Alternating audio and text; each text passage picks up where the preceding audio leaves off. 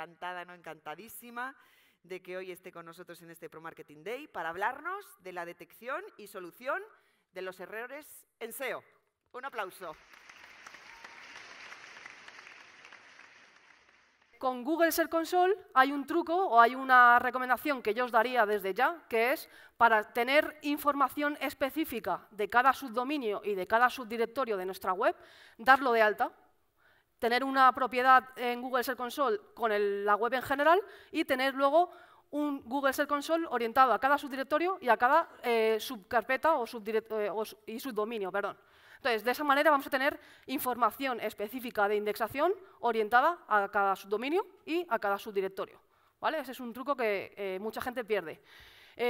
La, clave de la indexación es, eh, tenemos que tener muy clara cuáles son las páginas que nuestro sitio quiere posicionar o las que quiere captar tráfico y son indexables, comprobarlas o chequearlas con las páginas que están indexadas y con las páginas que reciben tráfico. Aquí es donde vamos a obtener eh, la mayoría de las mejoras.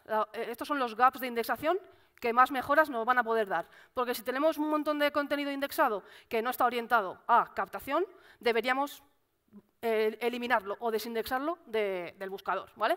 Aquí hay una, hay una norma que es que eh, únicamente deberíamos tener indexado aquel contenido que tiene demanda orgánica. ¿vale? Aquí os he puesto un ejemplo de cómo podemos cuantificar esta tabla de gaps de indexación en una tabla numérica, cuantitativa. ¿vale? Podemos sacar en cada directorio y en cada subdominio qué nivel de indexación hay, cuáles son las páginas que están orientadas a captación y comparar dónde están los gaps para ir eh, llevando a cabo acciones de desindexar o de ver por qué los contenidos que quiero indexar no se están indexando. ¿vale? Eh, hasta aquí tenemos como la parte cuantitativa, pero ahora necesitamos saber qué contenidos están indexados y si están bien indexados o no. ¿Cómo podemos extraer los contenidos que están indexados, más allá de los números? Pues os voy a contar dos métodos. El método uno, que es extracción directa. ¿vale? La extracción la podemos hacer eh, de dos maneras, o sea, usando dos pasos, vamos. Cogemos la configuración de Google y le decimos, danos, en vez de 10 resultados, danos 100 resultados. ¿vale? Y eh, también podemos eh, instalar el plugin eh, Autopagerize, que estáis viendo ahí, que lo que hace es eliminar la paginación de los resultados de Google. Con eso lo que hacemos es tener un scroll infinito con todos los resultados de una búsqueda que nosotros hagamos.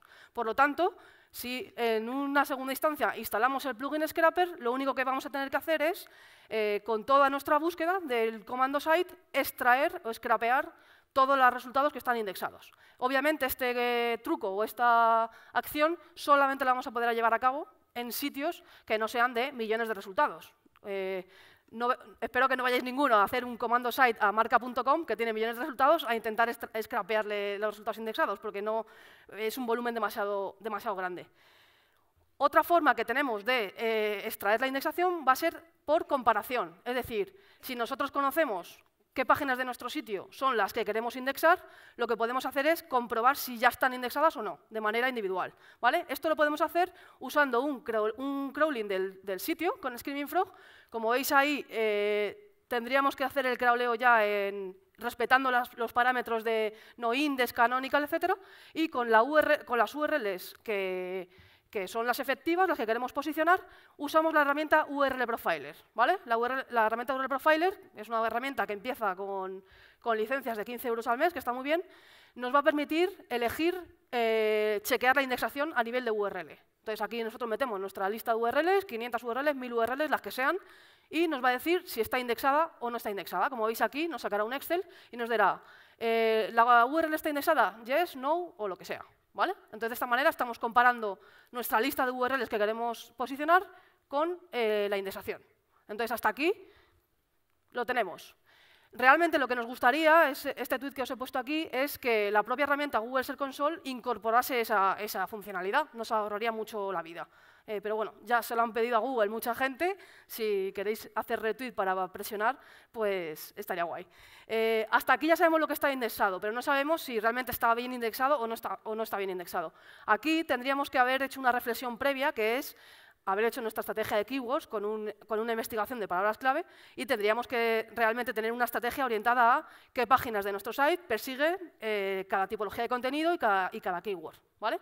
Con esta estrategia que tendríamos que haber hecho previamente, eh, nos vamos a esta norma SEO que yo, que yo os comentaba antes. Solo debemos indexar aquellos contenidos que tengan demanda orgánica. Es decir, al final es una empresa y los servidores de Google no tienen por qué alojar todo el contenido que nosotros nos dé la gana, porque realmente si no se busca, pues ¿para qué va a estar indexado ahí?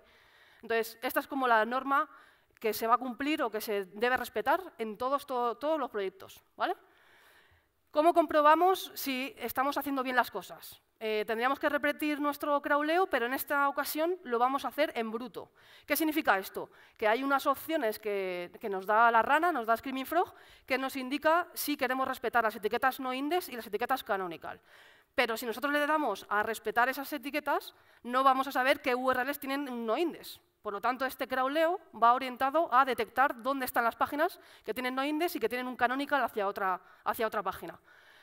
Como veis aquí, nosotros hemos hecho un ejemplo con, este, con una web y eh, simplemente el resumen que nos da Screaming Frog nos dice que tenemos un porcentaje de URLs que tienen una etiqueta no index. Aquí lo único que teníamos que hacer es detectar qué patrones eh, se están teniendo lugar en, esta, en estos no index. Son páginas que realmente son de negocio, son de interés, tienen, están bien puestos, están mal puestos. En el ejemplo que os he puesto, eh, todos los no index que aparecen en esta tabla corresponden a una sección que es una intranet. Entonces, no sé qué creéis. ¿Creéis que está bien o que está mal? Todos se la vendo, ¿eh? ¿Qué creéis? Es una intranet. Está bien realmente un contenido de una intranet a priori no va a tener una demanda orgánica y no tiene por qué estar indexado en Google, porque es un contenido, digamos, privado para eh, el manejo interno de la empresa. Entonces, en este caso, eh, podemos decir que está, que está bien. Eh, por otro lado, las páginas con un canonical que apuntan a otra página, nos pasaría un poco lo mismo. Tendríamos que ver si estamos usando una estrategia correcta de etiquetas canónicas. ¿vale? La etiqueta canónica, como todos sabéis, eh, funciona para indicar cuál es el contenido original entre dos URLs. Entonces, si estamos, eh, si estamos usando los canonical de una manera incorrecta, podemos liar la parda así, en, plata. ¿vale? En el ejemplo que os pongo aquí en este, en este análisis que hicimos, se está eh, usando el canonical en la paginación para mandarlo a la primera página de la paginación. Por lo tanto, esto es por lo menos cuestionable. Tendríamos que ver si realmente se está haciendo bien o mal, porque si le estamos mandando ese canonical a la primera página del listado, es probable que las páginas eh, de la secuencia de la paginación no estén siendo rastreadas de la manera más óptima. ¿vale? Entonces, a lo mejor estamos perdiendo fuerza a los contenidos que contengan eh, esas paginaciones. Habría que estudiarlo, ¿vale? No hay una norma exacta para esto. Hasta aquí bien. Eh, pero claro, hemos empezado hablando de indexación, pero es que para que algo se indexe primero se tiene que poder rastrear, el contenido tiene que ser accesible. Entonces aquí entraríamos en eh, qué podemos hacer o cómo podemos utilizar nuestro fichero robot.txt. ¿vale? Las instrucciones que estén contenidas en este fichero, que es público y es accesible por Google y por cualquier usuario, eh, son las que van a determinar dónde entra Google y dónde no entra Google. Eh, Google o cualquier otro user agent de cualquier otro bot de otro buscador, como puede ser Yandex, Bing o el que sea. ¿vale? Eh, vamos a poder utilizar eh, la herramienta Screaming Frog para eh, hacer comprobaciones o validaciones del fichero robot.txt de cualquier página web, sea mía o sea de un competidor, y vamos a poder usarlo incluso cuando pasamos Screaming y hacemos ese crawleo, lo vamos a poder hacer al vuelo. Nos va a decir qué líneas del robot.txt bloquea cada recurso. Entonces, en este sentido, esta herramienta sería fundamental para nosotros chequear qué contenidos queremos que rastree Google y no, y añadir las líneas que corresponda. Eh, obviamente, con la herramienta Google Search Console lo vamos a poder manejar de manera directa en nuestro proyecto. ¿vale? Como veis ahí, os he marcado eh, la fila de arriba, es eh, la última fecha en la que Google vio el robot.txt. Si nosotros modificamos el fichero robot.txt y queremos avisar a Google, tendríamos que darle al botón de enviar para actualizar ese fichero robot.txt.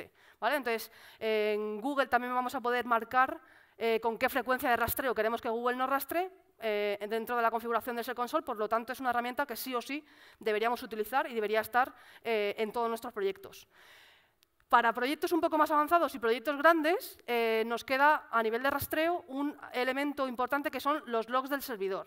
Estos del servidor realmente es la información más fehaciente que tenemos de dónde está entrando eh, Google en nuestro sitio, a qué páginas está llegando, con qué frecuencia, con qué periodicidad y cuántas veces está entrando. ¿Vale? Entonces, hay una herramienta que se llama Screaming Log Analyzer, que es de los mismos que han hecho Screaming Frog, eh, y que nos sirve para gestionar o para analizar los logs del servidor. ¿vale? Esta información ya os digo que en proyectos que sean pequeños no nos va a dar una, una ventaja competitiva muy grande. O sea, la información que nos va a dar no va a ser del todo útil.